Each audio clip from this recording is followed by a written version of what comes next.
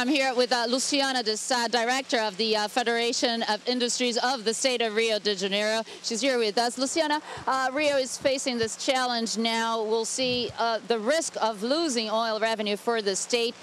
Do you believe that the money will come, the private sector can overcome that for the state? I don't believe that Rio will lose the money.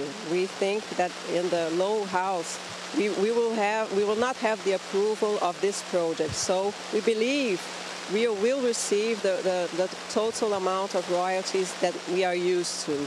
The private sector is undercoming many investment projects as well, so we believe that Rio, we see Rio de Janeiro in a very special moment actually. Do you see the industrial park ready to actually absorb the demand that the 2016 games will bring?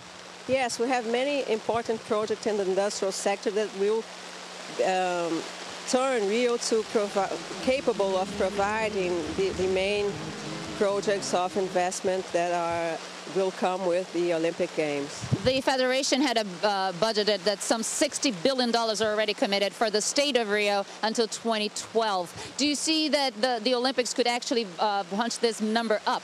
Yes, we are believing that the Olympic Games will, will boost even more this number because this number was closed before the Olympic Games came to Rio de Janeiro, before this decision. How much direct investment do you believe the state of Rio can attract? I think we can attract maybe 50% more than we'll attract, we'll have attracted since now.